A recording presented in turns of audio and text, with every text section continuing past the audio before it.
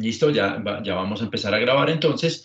Eh, y nada, listo, estimados. Voy a enviarles, en, lo ocurrido que estemos en la, en la reunión, voy a echar a enviarles el registro de asistencia como siempre lo hemos venido haciendo. La idea es que por favor ustedes lo diligencien. Como les he dicho anteriormente, estamos creando una base de datos maestra que nos permita eh, tener un universo, pues digamos, de los servidores públicos que se conectan a nuestros eventos, no solo de máxima velocidad, sino de todos los eventos que hacemos desde la Dirección de Gobierno Digital, para asimismo eh, poder perfilar ciertas convocatorias y ciertos anuncios que venimos haciendo, ¿vale? Entonces, es bien importante que ustedes se registren eh, en, el formulario que les voy a ir enviando, digamos, seguidamente dentro de la, de la reunión.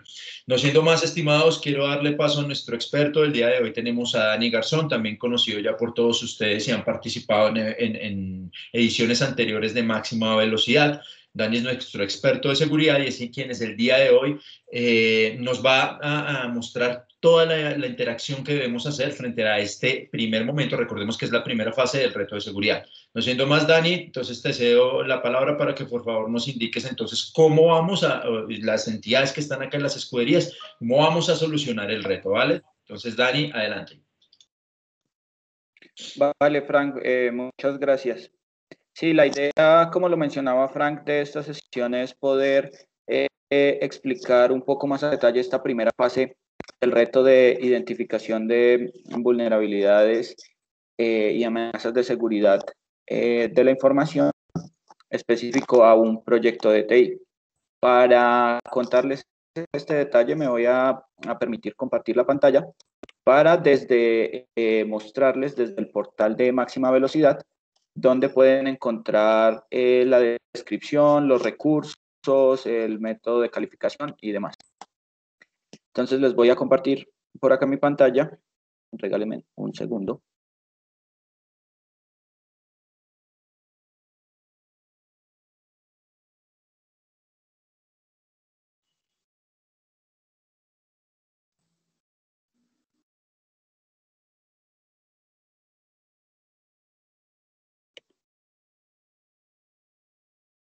Listo. Mm, mm. ¿Ahí ya están viendo mi pantalla? Mm, aún no, Dani. Ok.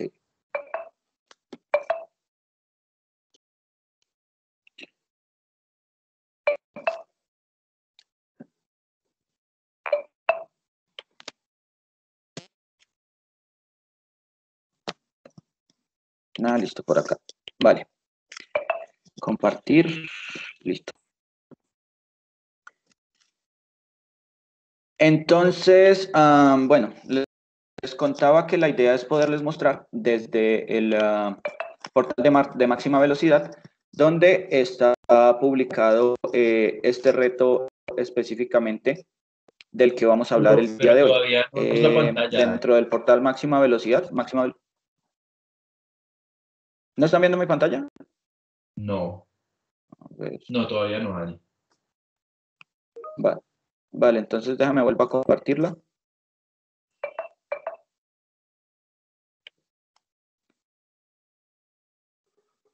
Listo, ya, ahora sí la estamos viendo, Dani.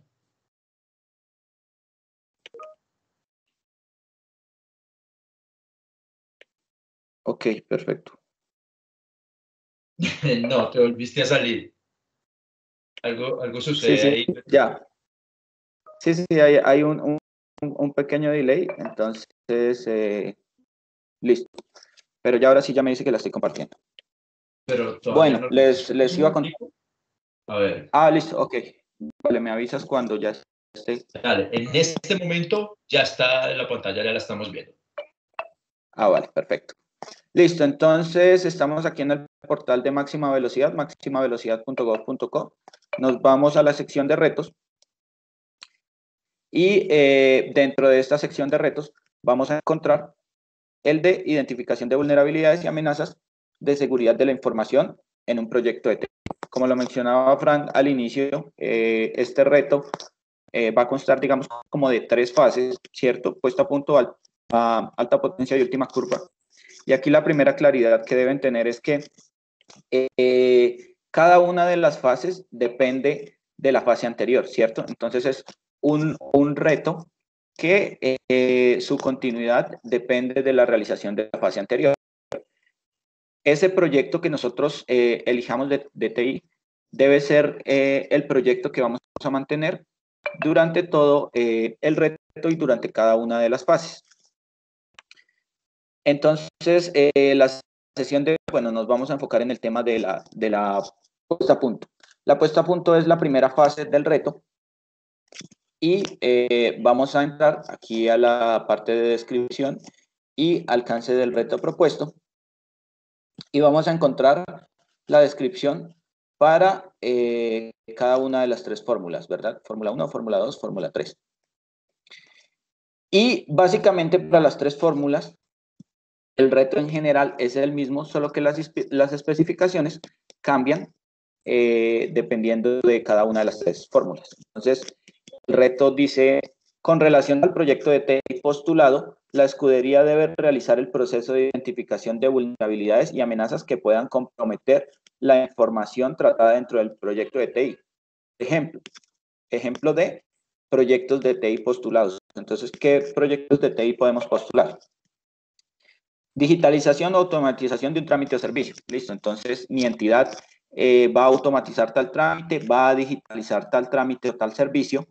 El reto consiste en realizar la gestión del riesgo en esta primera fase a través de la identificación de las vulnerabilidades y las amenazas que pueda traer consigo la ejecución de ese proyecto. También puede ser la migración de una base de datos, eh, o la migración de un sistema de información, un sistema de información, la publicación de una página web el despliegue de una nueva funcionalidad en un sistema de información, entre otros. Entonces, esto está abierto para que la entidad eh, postule el proyecto de TI que ellos quieran. La idea es que las entidades pues escojan un proyecto de TI que sea muy relevante, eh, que sea eh, preferiblemente un activo crítico para la entidad, para que a través del desarrollo de este reto no solo puedan participar en el concurso, sino obtener, digamos, asesoría en cada una de las fases y retroalimentación respecto al proceso, si se está haciendo de una manera correcta o reciban eh, oportunidades de mejora y algunas observaciones. Entonces, listo, eso es lo primero. Elegir muy bien ese proyecto de TI.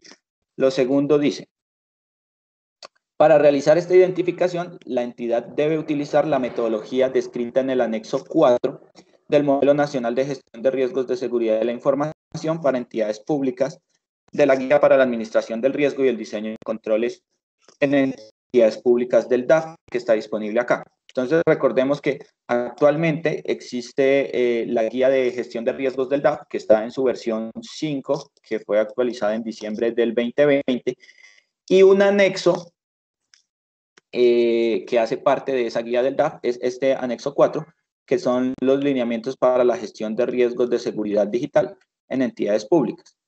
Y este anexo, pues, específicamente nos habla de todo el proceso que nosotros tenemos que hacer para realizar la gestión de riesgos, eh, específicamente de seguridad de la información, dentro de nuestras entidades.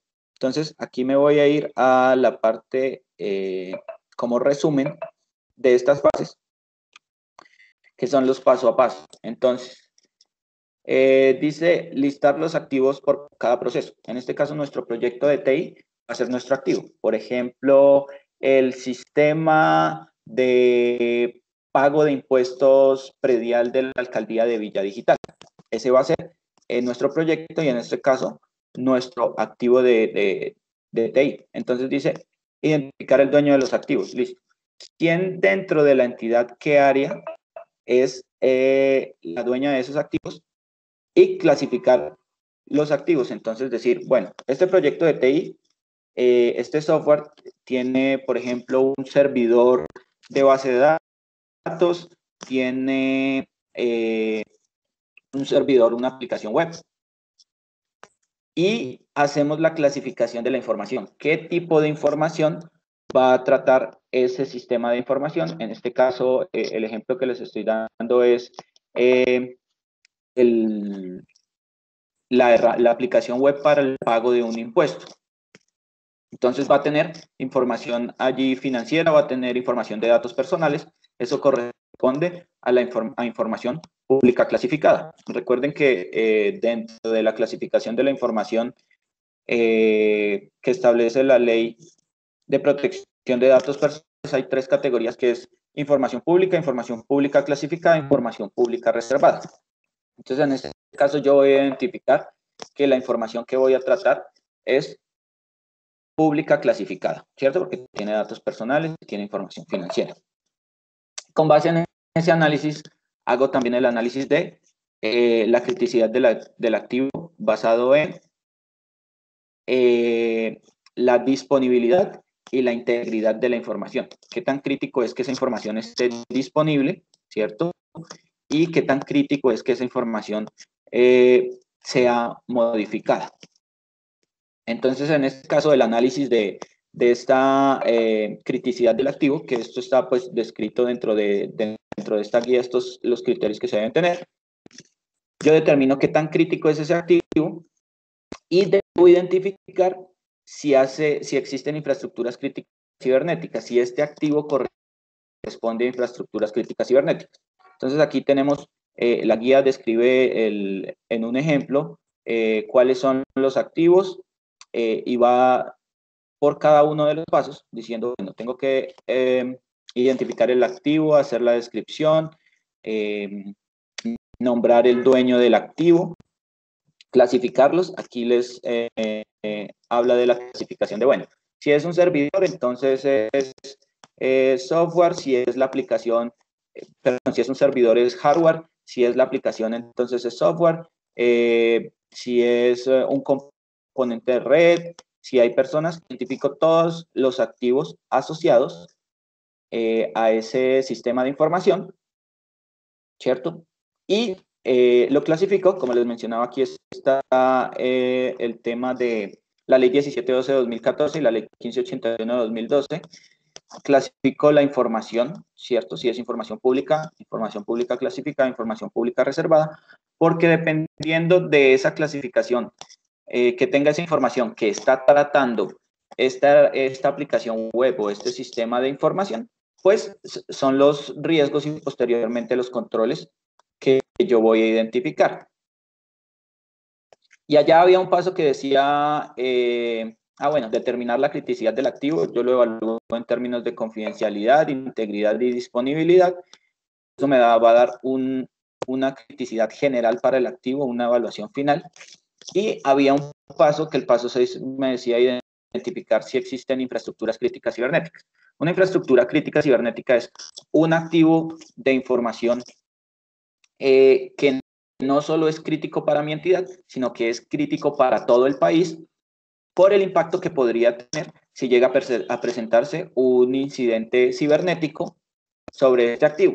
Digamos que antes, eh, para buscar afectar eh, un país, se buscaba afectar las, infraestructuras físicas, eh, los puentes, los aeropuertos, los edificios de gobierno. Ahora en el entorno digital, pues pasa exactamente lo mismo buscan afectar infraestructuras, lo que sean críticas en ese entorno digital para afectar el normal funcionamiento y desarrollo de un país.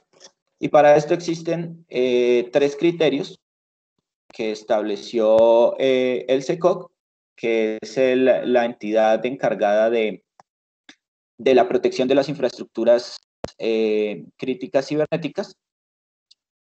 Y el SECOC o el Comando Conjunto Cibernético dice, mire, si ese, esa infraestructura que usted está analizando, si esa activa información que usted está analizando, eh, tiene un impacto que afecta a más de 250 mil personas, entonces va a ser infraestructura cibernética, infraestructura crítica cibernética nacional. Y va a generar un impacto de más de 464 millones 619 mil 736 también va a ser infraestructura crítica cibernética. O si genera un impacto ambiental que, eh, tarde más de tres años en recuperarse. Decimos, bueno, pero si estamos hablando de, de activos de infraestructura cibernética, ¿cierto? Eso que tiene que ver con, con impacto ambiental. Bueno, resulta que hay, por ejemplo, sistemas eh, de, de control, de control industrial, como pueden ser eh, sistemas de información que controlen eh, que una presa, las puertas de una represa se abran o se cierren y a través de un, de un ataque informático poder controlar esas represas, que se abra la represa en un momento que no debería y va a generar un impacto ambiental que va a tardar más de tres años en recuperarse. Entonces, en ese caso, eh, tanto la represa es un, un activo perdón, es infraestructura física crítica, como el sistema de información que controla ese sistema es eh, infraestructura crítica, pero en el entorno cibernético. Y em, el tema, por ejemplo, de, bueno, del ejemplo que yo les ponía de nuestra aplicación web para el pago del impuesto predial, si es una alcaldía eh, y los, las personas que deben pagar ese impuesto son 200 mil, entonces este criterio no es considerada infraestructura crítica cibernética nacional, porque si llega a estar indisponible ese servicio, pues va a afectar a 200.000 personas y no va a pasar el umbral de 250.000. Pero sí va a generar un impacto económico superior. O sea, eh, eh, hay un ataque en disponibilidad o, y las personas no pudieron acceder a, esa, a hacer el pago por este sistema de información y esto generó unas pérdidas superiores a este valor de 464 millones, pues entonces eh, sí va a ser considerado por este criterio y no por este como infraestructura crítica cibernética nacional. Entonces es, bien importante identificar qué información tenemos ahí y eh, eh, si hace parte de infraestructura crítica cibernética nacional. Ya una vez nosotros tengamos identificados eh, esos activos de información que hacen parte de, de ese proyecto de TI que nosotros estamos analizando, entonces podemos identificar las, ah, los riesgos que pueden afectar. Y ahí, digamos que para poder identificar los riesgos, debemos eh, analizar cuáles son las vulnerabilidades y las amenazas que pueden afectar este, este activo de información. En esta tabla hay eh, unas amenazas comunes, ¿cierto? Por ejemplo, daño físico para el tema de el, eh, del hardware, si es eh, el servidor físico. Y fallas técnicas, compromiso de la información.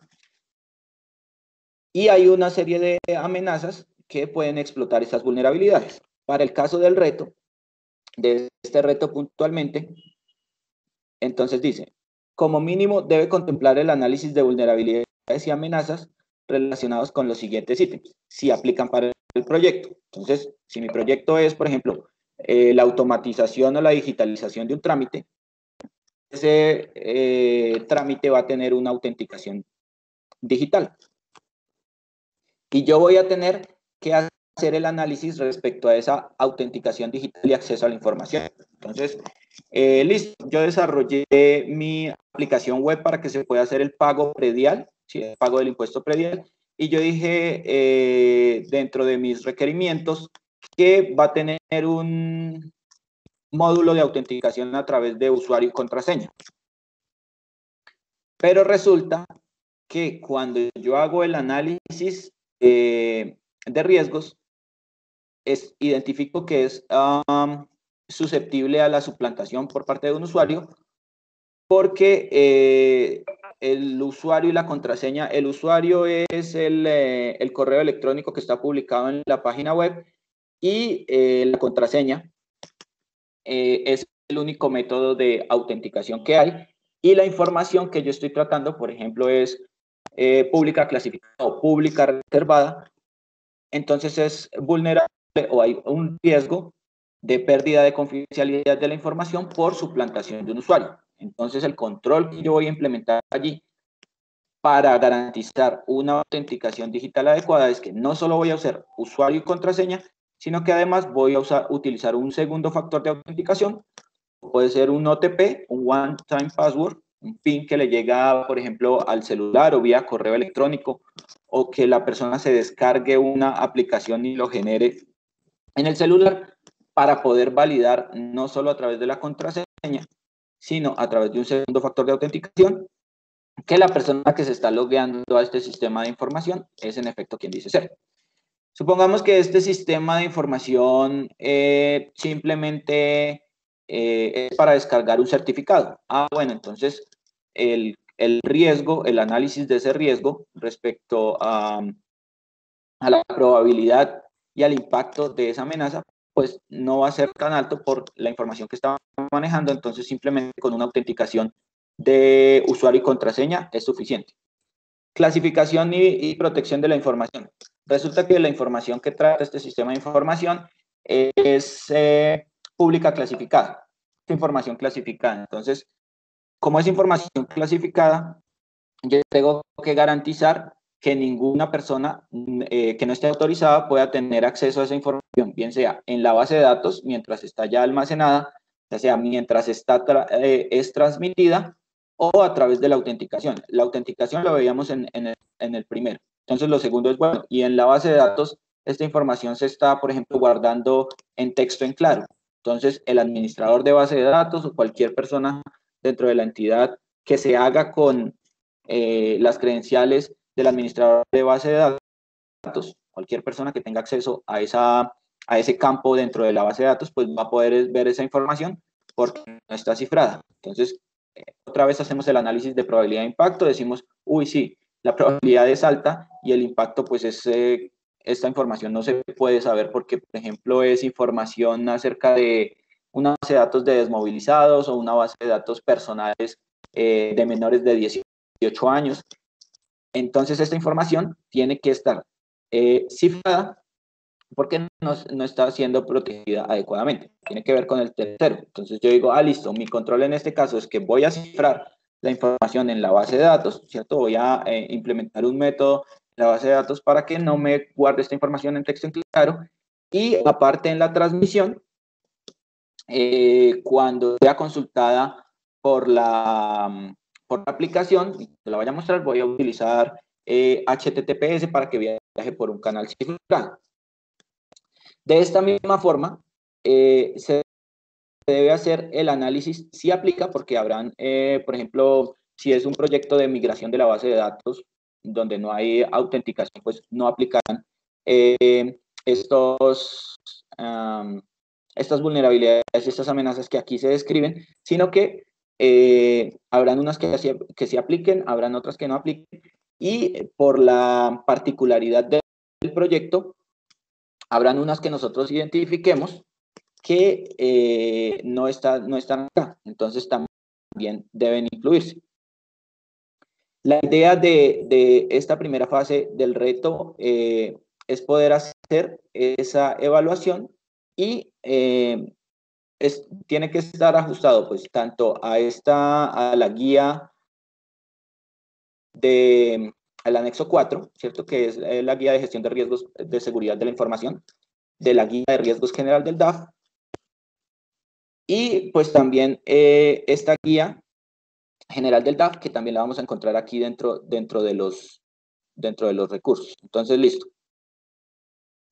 Vamos otra vez al reto. Ya vimos cómo era el tema de la descripción, ¿cierto? Eh, recordemos que estamos en la, en la primera fase del reto que es puesta a punto y es importante que nosotros los controles que identifiquemos y los controles que propongamos para tratar esos riesgos que identificamos, los podamos implementar, porque posteriormente en alta potencia, vamos, el entregable va a ser eh, el informe de implementación, donde se puede evidenciar que se implementaron esos controles adecuadamente, y la última curva pues va a ser el análisis de cómo eh, esos controles que yo implementé efectivamente me están ayudando a reducir el riesgo. Y entonces tenemos los requerimientos. Y en los requerimientos dice, la entidad deberá realizar la identificación de las vulnerabilidades y amenazas de seguridad de la información sobre el proyecto de TI que van a desarrollar, teniendo en cuenta como mínimo las amenazas establecidas en la descripción del reto. Como les comentaba, hay que realizar la evaluación de, bueno, si estas amenazas aplican o no para mi riesgo, probablemente habrán unas que, si es eh, un reto que no tiene desarrollo, no tendrá muchas de estas, pero debo incluir las, eh, la idea es que se incluyan las amenazas y las vulnerabilidades que sean intrínsecas a la naturaleza del proyecto. Ahora, ¿cuáles son las condiciones para la calificación? Entonces dice, las entidades entregan en PDF el resultado del análisis de vulnerabilidades y amenazas de seguridad de la información sobre el proyecto de TI que vayan a desarrollar, siguiendo el formato de la guía para la administración del riesgo y diseño de controles de entidades públicas del DAF, y la calificación será otorgada de acuerdo a la calidad y completitud del análisis.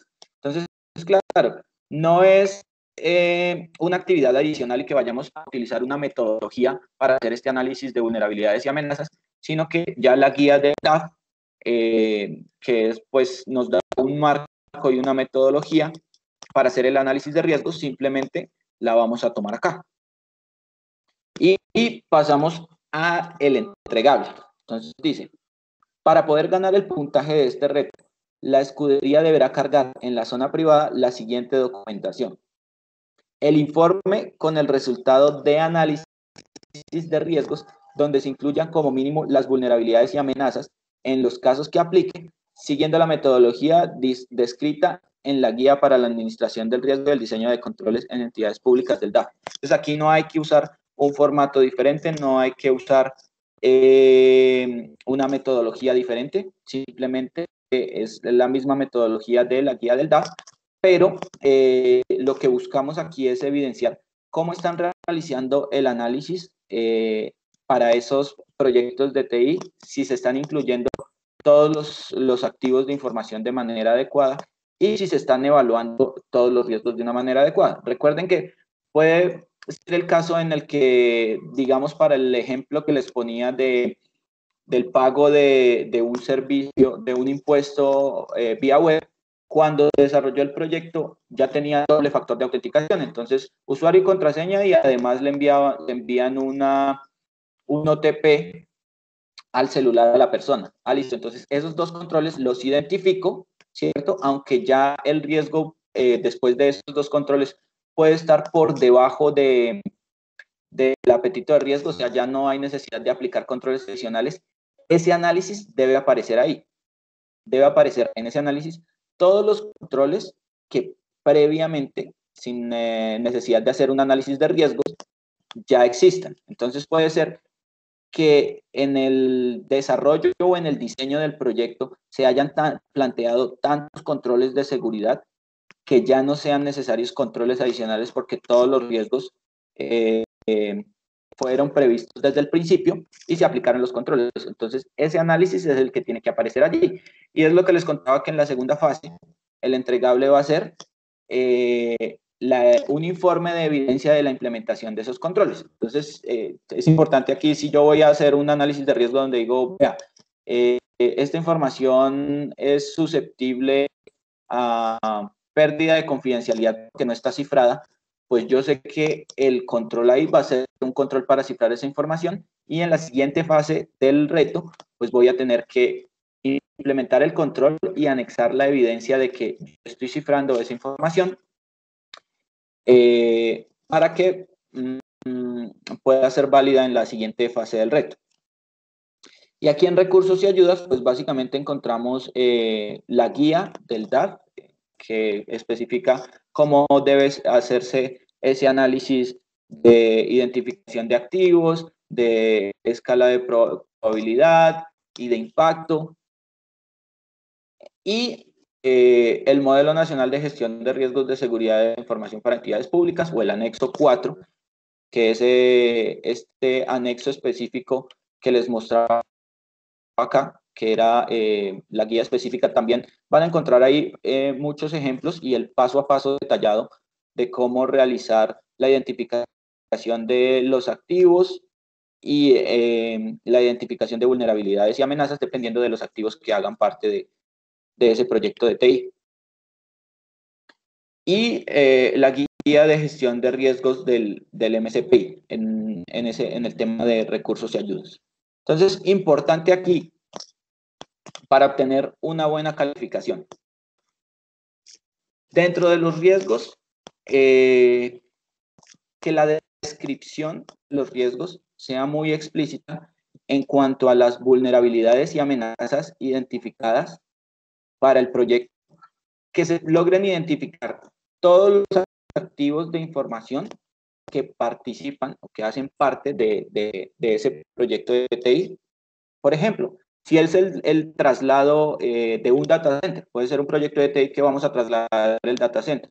Ah, listo, como estoy hablando de hardware, entonces los riesgos que van a aparecer ahí es pérdida o robo, entonces los controles pueden ser eh, implementar unas, eh, unas pólizas o implementar un sistema de seguimiento. Entonces, lo importante de este reto y lo que nosotros buscamos básicamente con este reto es darnos cuenta de cómo están haciendo la identificación de vulnerabilidades y amenazas eh, las diferentes entidades del Estado respecto al desarrollo de proyectos de TI. Entonces, ahí es bien importante esa descripción eh, que pueda ser lo más detallada posible y que eh, si no hay controles, digamos, si los controles intrínsecos o los controles que se plantearon en el diseño garantizan que todos los riesgos estén controlados o estén por lo menos por debajo del apetito de riesgo establecido por la entidad, pues esto se puede evidenciar aquí en este informe utilizando eh, la guía del DAF. Y eh, eh, listo, recursos y ayudas. Y ya básicamente ese es el, el, reto. quiero dejar un espacio para atender todas las, las dudas e inquietudes que hay. Importante recordar que la fecha del reto es del 20 de mayo al 16 de julio y es importante que participen para que ustedes puedan recibir una retroalimentación de cómo están realizando esa, esa gestión de riesgos y eh, pues nada, pues que, que participen y se animen. Vale, Dani, nada, muchísimas gracias por tu asesoría. Digamos que eso era lo que, lo que esperábamos, lo que estábamos buscando precisamente que nos pudieses explicar, incluso desde el mismo portal, desde la misma dinámica del portal de máxima velocidad, cuál es la forma y cómo se debe resolver el reto con todas las ayudas, digamos, que en este momento están dispuestas para él. Entonces, estimados, vamos a, a proceder a la dinámica, como lo decía Dani, Vamos a abrir los micrófonos, denme un segundito. Vamos a abrir los micrófonos para que por favor vayan levantando la mano si tienen dudas, ¿no? Importante, eh, recordemos la sesión y todo lo que se, digamos, se avanzó en el día de hoy. Por favor, las dudas enfóquenlas al reto que nos acaba de explicar Dani. Si tenemos otro tipo de dudas con respecto a la, a la mecánica de máxima velocidad, eh, pues digamos que las podemos dejar para el final, pero inicialmente les pediría que por favor todas las preguntas que tengan las enfoquen hacia, hacia el reto que, que, nos acaba de explicar Dani, ¿no? Entonces...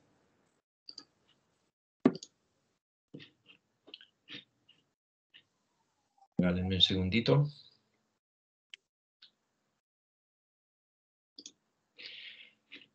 En este momento, de acuerdo a lo que me muestra la herramienta, ya pueden, digamos, abrir el micrófono y ya pueden dar sus preguntas. En este momento, Alfonso Díaz tiene la mano levantada. Entonces, por favor, estimados, recordemos eh, las preguntas enfocadas hacia el reto que nos acaba de explicar Dani. ¿Listo? Entonces, Alfonso, por favor, cuéntanos cuál es tu duda. Hola, buenas tardes. Gracias, Fran, y gracias, Dani, por la explicación. Eh, pregunta es la siguiente. El reto me, me, enfoca hacia el análisis de riesgo, sin embargo, Dani acaba de mencionar que hay que hacer eh, prácticamente un análisis del activo, que en este caso va a ser el proyecto. Eh, y algo también muy importante que mencionó, digamos, la información contenida dentro de este proyecto. Es decir, yo tendría que analizar también eh, los activos que están inmersos dentro de este proyecto. Eh, la pregunta sería, ¿tendría que cargar como parte de la evidencia no solamente mi matriz de riesgos donde estoy analizando los 13 ítems cuando considere, digamos, cuando sea el caso, sino también cargar como evidencia esa identificación de activo como proyecto y activos dentro del proyecto? Sí, eh, exactamente es eso. Lo que pasa es que no, es, no hay necesidad de que cargues, digamos, dos evidencias diferentes, porque eh, lo que se hace es que primero identificamos los activos. Supongamos que tengo, voy a tener dos activos, eh, para este caso un servidor de aplicaciones web y un servidor de base de datos. Entonces, en mi matriz de riesgos dice activo, servidor de aplicación web, y está todo el tema de análisis eh, de riesgos para ese activo de aplicación web. Por ejemplo, va a aparecer el tema de inyección de SQL, al, eh, al cual es eh, susceptivo, por ejemplo, el activo de información de base de datos. Si dentro de esos activos que están asociados aparece un hardware, un servidor, entonces los riesgos que van a aparecer, por ejemplo, va a ser pérdida física del servidor, ¿sí? O daño físico del servidor. Entonces, ahí dentro de la descripción del riesgo, yo ya estoy incluyendo el activo de información. Sin embargo, eh, dentro del formato de, la guía del DAF, pues una de las casillas es el activo de información, digamos que es como una, casillita adicional. Y eh, simplemente va a aparecer ahí el, activo de información, servidor de base de datos, o, en caso de que sea servidor físico, en caso de que sea un data center, eh, va a aparecer ahí y posteriormente en la descripción del riesgo debería aparecer si es pérdida de confidencialidad, pérdida de integridad, pérdida de disponibilidad, sobre qué activo específico y eh, luego la descripción de las vulnerabilidades y amenazas. Entonces, en la descripción del riesgo, eh, por eso les decía que tienen que ser como muy explícito, porque generalmente en la descripción del riesgo es donde va a ir todo. El tipo de riesgo, si es pérdida de confidencialidad, pérdida de integridad, pérdida de disponibilidad, sobre qué activo y posteriormente las amenazas y vulnerabilidades. Perfecto, también proyecto. Perfecto, ahí también entonces hacer una precisión y es que, eh, como ustedes bien saben, la guía del DAF es, eh, digámoslo así, como una orientación de cómo lo debe hacer más. Sin embargo, cada entidad lo aplica de acuerdo como a su, no sé, sistema de gestión de calidad, su sistema de gestión documental, digamos que puede, no sé, en una entidad X yo puedo hacer un archivo Excel en donde tengo un archivo para identificar activos, en otro archivo yo identifico riesgos, obviamente asociados con los activos, y en este caso yo debería presentar, eh, entre comillas, esas dos matrices, en otra entidad lo puedo hacer por medio de un Word, lo puedo hacer, digamos, en un aplicativo, en fin, pero eh, se debe presentar entonces, eh, digamos, esta relación para que se pueda notar. Entonces, asimismo, se debería presentar entonces el tema de activos, el tema del riesgo y el tema del control, para que la evidencia sea completa. Correcto. Recuerden que en esta primera fase todavía no estamos llegando hasta el control. Aquí solo llegamos hasta el análisis de riesgos. La siguiente fase sí llega al tema de, controles. Así es, correcto. Aquí la última parte de mi intervención es la siguiente. Eh, tal vez como para tener en cuenta toda esta información que nosotros vamos a procesar y a analizar, usted bien entiende que pues, va a tener una criticidad alta y como usted bien lo mencionó, pues puede ser información clasificada. ¿Qué tan pertinente es que una entidad cualquiera que esté participando dentro del concurso de máxima velocidad envíe a otra entidad, que en este caso es Mintic, información que puede estar clasificada, que puede ser reservada desde el punto de vista de seguridad de la información? ¿Qué tan pertinente es, es esto? Sí, muy buena pregunta. Listo, lo primero es que nosotros no estamos, eh, digamos, pidiendo tema de ninguna información. Por ejemplo, si ustedes tienen una vulnerabilidad específica, no estamos pidiendo el CVE, digamos, eh, no, la vulnerabilidad es un Apache que es una versión 4.35 y es susceptible a la vulnerabilidad CVE 2019 de 2020. No, simplemente eh, la generalidad de, ah, el servidor Apache es susceptible a inyección a cross-site scripting o a inyección de tal cosa o el módulo de autenticación, temas de manera muy general. Y cuando haya un lugar, digamos, cuando se entregue información que sea así como muy específica, simplemente se puede anonimizar. Entonces, la versión XXX o el usuario XX o el sistema de información, no por el nombre exacto que por ejemplo, el sistema de gestor documental OFEO versión 3.5, sino el sistema de gestión documental y dejarlo de forma general. Ok, vale. Muchas gracias, Dani. Muchas gracias, Frank. Alfonso, muchísimas gracias. Siguiendo entonces con nuestra ronda de preguntas en el, orden de acuerdo que, que, aquí me muestra Teams, seguiríamos con David. David, que ha participado bastante en todas nuestras asallas. Entonces, ¿cuál es tu pregunta, David? Eh, buenas tardes, buenas tardes, Frank. Eh, buenas tardes, Dani. ¿Me escuchan bien? Sí, un poquito. pero sí. Ok, bueno, la pregunta va para, para Dani. Dani, una pregunta. Acá en la alcaldía de Montería tenemos un sistema de, de cobro sobre el ICA e impuesto, pero está a nivel de tercero. ¿Sí me entiende? Es un aplicativo muy bueno, ha tenido mucha aceptación. Eh, la pregunta es la siguiente. Eh, ¿Puedo aplicar ese proyecto TI, aplicarle todo lo que estamos viendo, el reto de máxima velocidad para aplicar toda la gestión de riesgo, amenaza de seguridad y análisis de riesgo a ese específico trámite? Sí, señor, la respuesta ahí es un sí rotundo. Recordemos que aunque los activos de información sean gestionados por un tercero, ¿cierto? O yo contrate, bien sea una fábrica de software o contrate un software eh, que ya está eh, disponible en el mercado, la información que va a tratar ese software y que va a tratar ese activo de información sigue siendo información de mi entidad. Entonces, hay software eh, comercial, muchísimo software comercial, que a diario están publicando vulnerabilidades. Bien sea porque los componentes en los que se basa son susceptibles a vulnerabilidades o porque el desarrollo en sí de ese, eh, de ese software tiene vulnerabilidades en el diseño. Puede ser que el método que están utilizando, por ejemplo, para recuperar la contraseña no sea un método adecuado. Entonces es importante ahí que eh, los proyectos con tercero, además de hacerles un análisis de riesgos, por ejemplo, cuando yo contrato un, eh, un, tercero para mover mi data center, ¿qué pasa si a ese tercero se le llegan a robar un servidor o se le llega a caer y llega a, sufrir alguna afectación?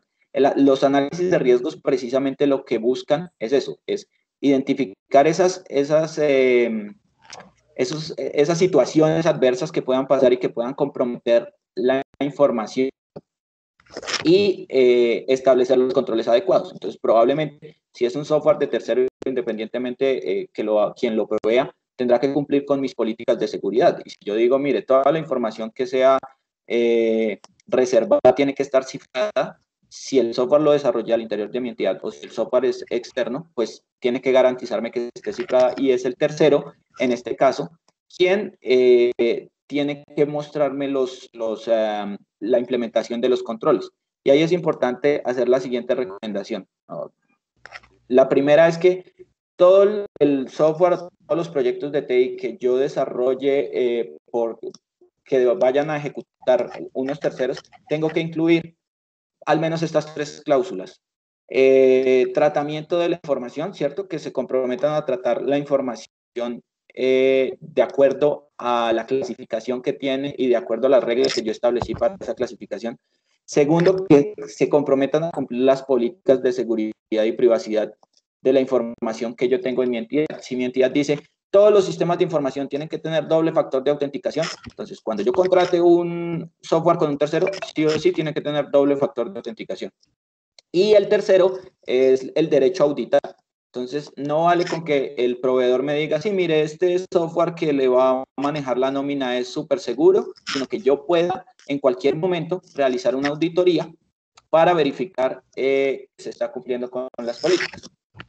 Ah, entonces Dani me recomienda que es un buen punto de partida para aplicar este reto de seguridad. Correcto. Perfecto. ya tengo ya trabajito que hacer. Muy amable. Hasta luego. Vale, con mucho gusto. Gracias.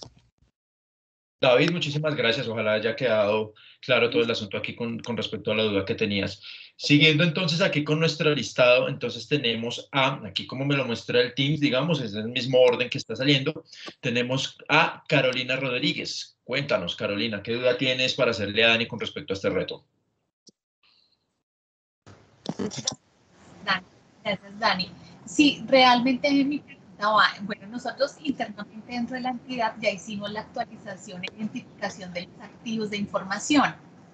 Entonces ya contamos con esa, con esa información de todos los activos y está incluido el sistema de información con el cual vamos a trabajar en el reto.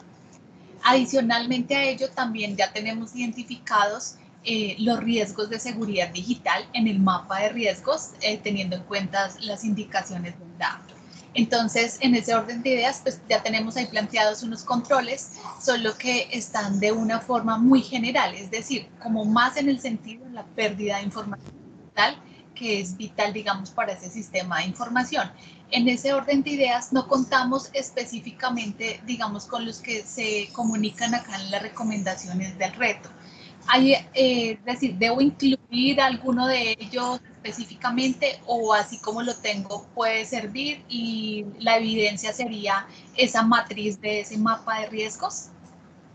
Sí, eh, eh, en efecto tú puedes utilizar esa matriz que ya tienes eh, porque estás haciendo un análisis de riesgos general. Pero si quieres ganar la máxima calificación, pues, eh, y si esta matriz, digamos, ya fue aprobada por la alta dirección y no es susceptible a, hacer, digamos, modificaciones que sean mm, aprobadas mediante una resolución formal o mediante un acto formal, puedes incluir un análisis de riesgos adicional específico para ese sistema de información.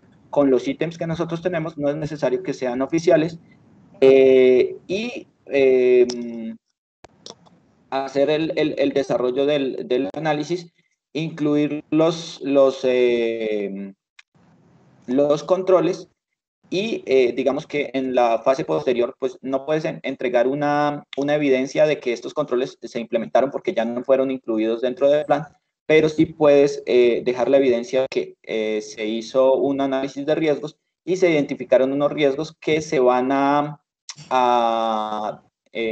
pasar a revisión de la alta dirección, porque recordemos que generalmente las entidades hacen análisis de riesgos una o dos veces al año pero esto no es así. Eh, la gestión del riesgo tiene que hacerse en el momento en que yo detecte una actividad eh, extraña, una actividad que pueda comprometer mi información. Entonces, si no se puede o si no se implementan los controles o si no se van a, implementar, por lo menos dejar la evidencia de que se identificó esa situación anómala y que se notificó a la alta dirección. Entonces, para, para concluir ahí, mi, mi respuesta concisa sería que eh, puedes incluir la, matriz de riesgos para ese eh, proyecto de TI que tú escojas y eh, especificar o incluir, digamos, un análisis específico de acuerdo a los criterios que están establecidos allá y no es necesario que hayan sido aprobados, pero sí que cumplan con esa misma metodología. Ok, perfecto. Muchas gracias. Vale. A ti, Carolina, muchas gracias. Siendo las 13.56, nos quedan todavía cuatro preguntitas, entonces vamos a intentar plantearlas muy rápido. También Dani dar una respuesta muy rápida para pues no saltarnos de la hora y pues dar unas recomendaciones finales, ¿vale? Teniendo en cuenta entonces, sigue la alcaldía, gobierno digital, alcaldía de eh, Buenavista, Boyacá. Cuéntanos.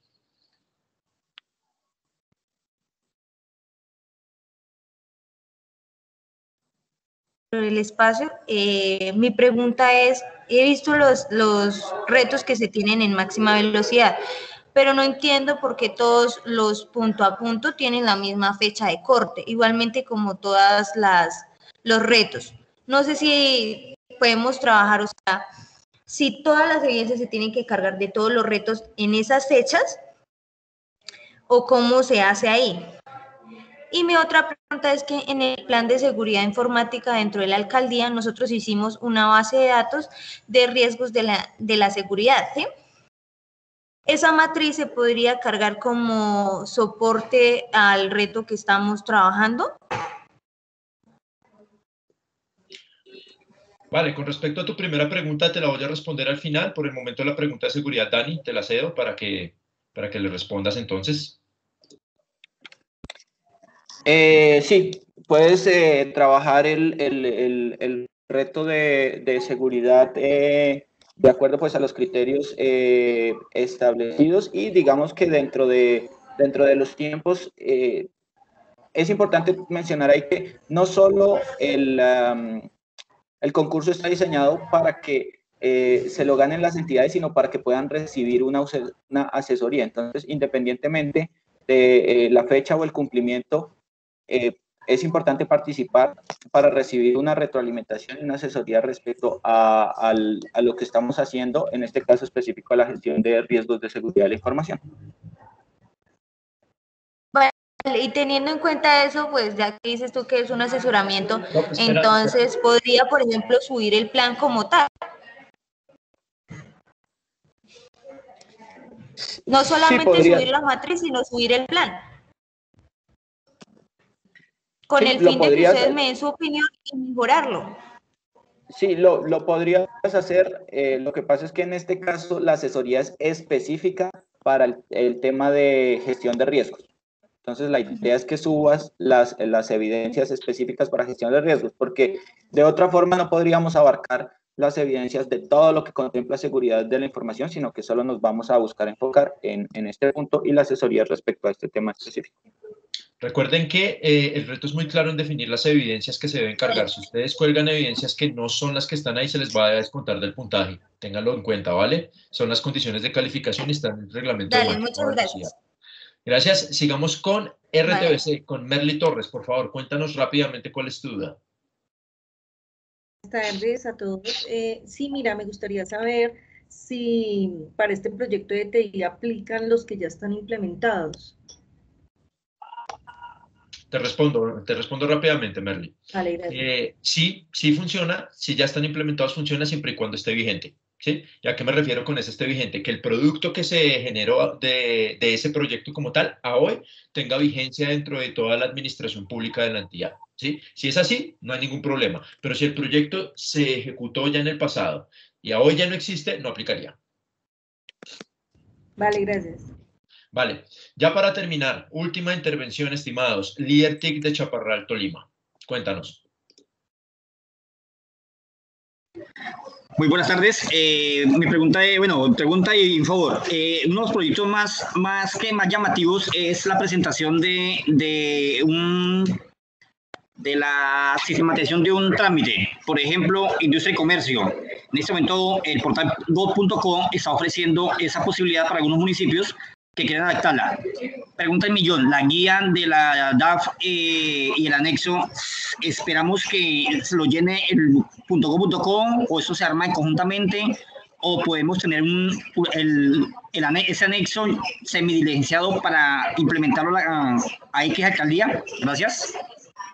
Vale, eh, sí, ahí lo que ustedes tienen que hacer es uh, adelantar la identificación de, de los riesgos eh, propiamente al interior de la entidad, porque son ustedes los que conocen qué información está, eh, es la que va a manejar ese sistema de información y quiénes son los involucrados. Entonces, ustedes eh, pueden hacer una identificación de estos riesgos y eso les va a servir como base para identificar dentro de gov.co si ya se implementaron estos controles y si no se implementaron los controles, pues sugerir la implementación de esos controles derivados de que ustedes hicieron un análisis de riesgo y tienen la evidencia para sustentar esos controles.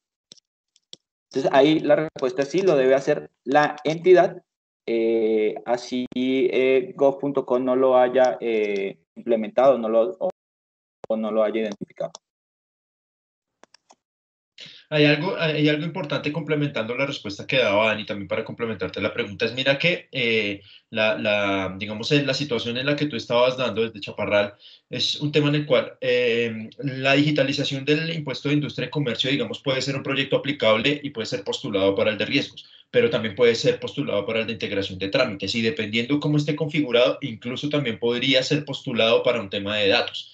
¿sí? Eh, ahí es, digamos, cuando jugamos con el tema de la postulación de los proyectos en el cual ustedes pueden postular un proyecto para inscribir un reto o pueden postular un proyecto para escribir muchos, ¿vale? Digamos que ustedes juegan con eso. Estimados, ya para terminar, siendo las 4 y 2, nos pasamos un, un poquitico, qué pena con todos ustedes. Respondiendo preguntas generales que he visto en el chat y digamos la que nos hacía nuestra, nuestra amiga de Buenavista, eh, sí, efectivamente, todas las evidencias de todos los retos se cuelgan en unos periodos definidos, ¿cierto? Para este caso tenemos ya abierto una, una, una, postulación, digámoslo así, para la carga de evidencias o una funcionalidad que va desde el 2 de julio hasta el 16 de julio. Las evidencias de todos los retos se cuelgan en, en esa parte, ¿sí? En este periodo de tiempo. Para el caso de los retos estratégicos, todas las evidencias de los retos, eh, perdón, de la fase puesta a punto se van a colgar ahí. Ojo, los de la puesta a punto, no más. Posteriormente, y ahí les invito a que revisen el cronograma del concurso que está en el portal, sí, van a encontrar cuál es el otro corte en el cual se cargan las evidencias de la fase de alta potencia y posteriormente de última curva, ¿vale? Respondiendo a preguntas generales, eh, digamos, nuestro compañero Juan Camilo Castro, que está compartiendo su pantalla desde hace resto y le estamos viendo el correo, le estamos viendo de todo. Nos preguntaba que dónde están los recursos de la Unión Temporal Transformación Digital para Todos. Esos recursos se están migrando al portal de gobierno digital. Por eso muchos de ellos no se encuentran o a veces la página está caída y no se encuentra, porque todo eso lo estamos migrando eh, al portal de gobierno digital. Esperamos más o menos que para mediados del mes de julio, segunda, tercera semana de julio, ya todos los recursos que ustedes, que ustedes encontraron en el portal de la Unión Temporal Transformación Digital para Todos queden en el portal de gobierno digital, ¿vale? Eh, también, digamos, respondiendo a preguntas generales, ejemplos de proyecto de TI o qué es un proyecto de TI, estimados, por favor lean el reglamento del concurso porque es clarísimo y de verdad, les soy muy sincero, toda la descripción de los proyectos es clarísima dentro del reglamento del concurso. El proyecto es cualquier iniciativa, actividad, estrategia que estén manejando dentro de sus entidades y que tenga que ver con el tema de TI. No necesariamente tiene que ser un proyecto que esté dentro del plan de desarrollo institucional o que esté, digamos, dentro del PETI, a no ser de que sea el reto de, arquitectura, que ahí sí tiene que estar en el PETI, o que tenga que tener el formato de la ficha de MGA de Planación Nacional, no. Es cualquier iniciativa o actividad que estén trabajando dentro de su entidad. Lógicamente que sea real, no es nada inventado, nada sacado del bolsillo. Eso es. Estimados, para terminar, agradecerle su participación. Muchísimas gracias a Dani, que pues lógicamente siempre nos ha acompañado con los retos de seguridad desde hace un tiempo en todo lo que tiene que ver con máxima velocidad. Como les indiqué al principio de la reunión, este, esta sesión quedó grabada y la vamos a publicar finalizando la otra semana, es decir, más o menos para el 2 de julio, que es cuando abrimos la zona de carga, van a quedar publicados los videos de esta asesoría eh, en el portal de máxima velocidad, en la sección ayudas, subsección videos. Ahí van a encontrar todos los videos de todas las asesorías. Como les dije, no les voy a o no les vamos a enviar ningún tipo de, de presentación, video y demás eh, a sus correos porque todo está dentro del portal. No siendo más, muchísimas gracias, que tengan un resto de día muy productivo. Nos veremos para aquellos que puedan y que tengan eh, el deseo de conocerlo. Nos veremos el viernes a las 11 de la mañana para terminar nuestra ronda de asesorías con el reto de cumplimiento de la resolución 1519. A ustedes muchísimas gracias y ahí nos estaremos viendo seguidamente. Que estén muy bien. Chao.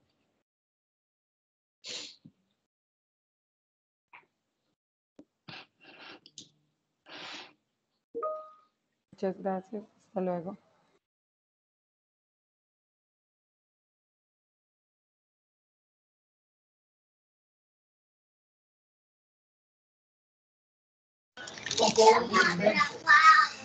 Muchísimas gracias.